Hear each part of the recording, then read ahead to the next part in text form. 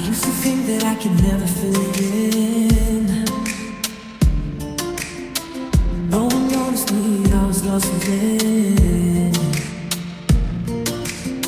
Invisible like a ghost in the crowd. But now I seem to scream.